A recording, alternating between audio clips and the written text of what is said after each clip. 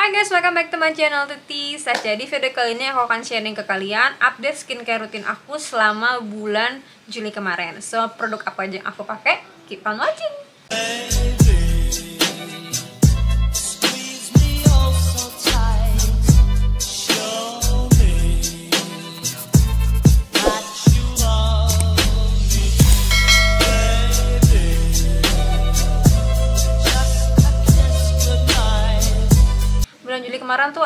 sedikit banget pakai skincare bener-bener cuma sedikit. Kalau kamu lihat di skincare update yang bulan Juni kemarin kan itu banyak ya skincarenya pagi dan malam. Nah kalau ini eh, sama pagi dan malam. Cuman aku pakainya cuma sedikit literally cuma empat ini doang yang aku pakai.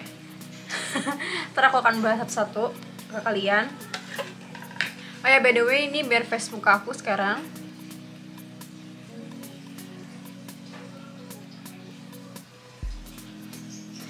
So, bulan Juli kemarin itu sebenarnya bulan di mana aku males banget pakai skincare karena em, aku positif COVID kemarin. Eh, jadi aku males pakai skincare karena sakit kan.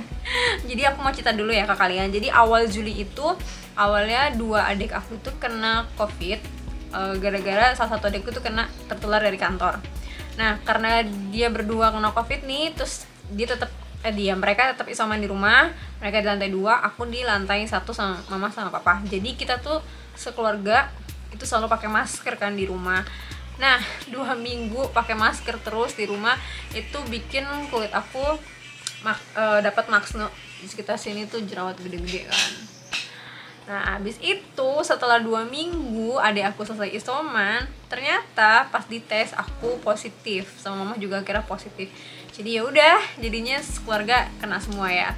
Dan eh, sebenarnya aku udah vaksin dua kali pakai Sinovac, terus kok bisa tetap kena juga ya? Terus gimana? Bete nggak? Enggak sih, alham aku tetap alhamdulillah aja.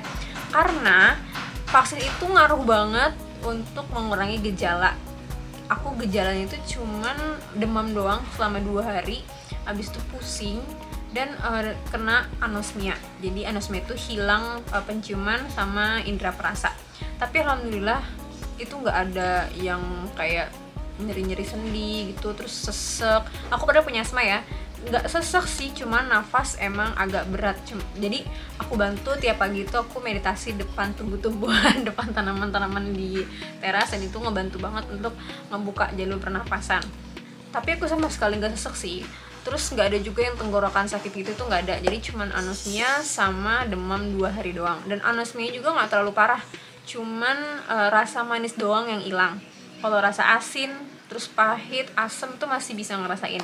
Kalau indera penciuman itu eh, sekitar cuma sehari hilang yang bener-bener hilang nggak bisa nyium apa-apa tapi terus lama kelamaan dia berangsur eh, mulai balik gitu.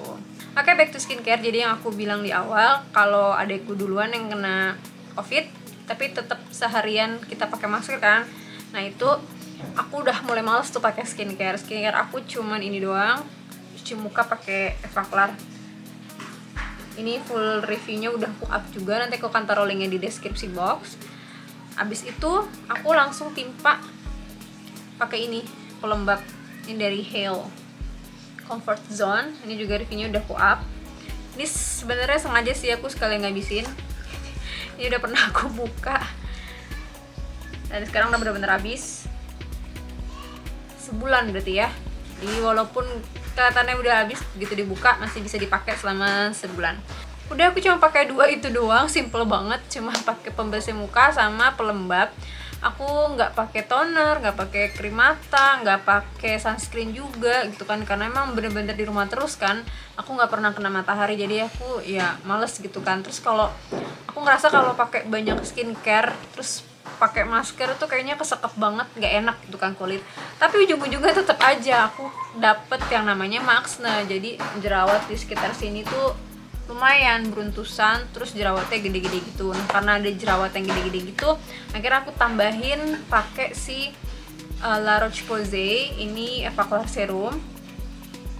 Ini tuh bagus untuk uh, jerawat dewasa kan adult acne adult acne itu kayak jerawat hormon yang gak ada matanya. Dan kebetulan emang maksudnya yang ke mana aku dapat itu jerawat yang gak ada matanya. Jadi setelah pakai eh, cuci muka abis itu aku pakai serum dulu.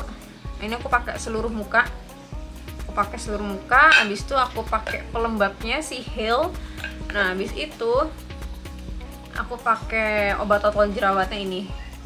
Evaclar 2 plus. Jadi kalau si ini tuh dia untuk uh, jerawat-jerawat yang gede nggak ada matanya tuh bagus dia untuk uh, men men- mendem lagi apa?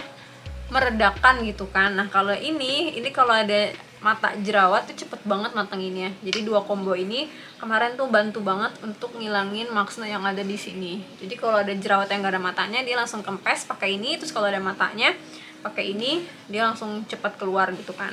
Nah pas aku kena covid itu kan dua hari aku demam banget ya jadi itu udah sama sekali deh aku nggak pakai skincare apa apa kecuali aku tetap cuci muka pakai ini. Jadi sebelum tidur malam itu aku harus pakai ini cuci muka. Walaupun pas pagi itu cuma kena air wudhu nggak nggak cuci muka gitu Eh, nggak masalah yang penting pakai ini.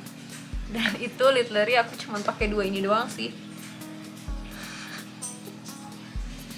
Jadi dua minggu pas aku kena eh aku kena covid tuh cuman kayaknya seminggu. Seminggu aku nggak pakai skincare sama sekali. Cuma seminggu. Jadi pakai ini aja. Pas lagi bener-bener covid.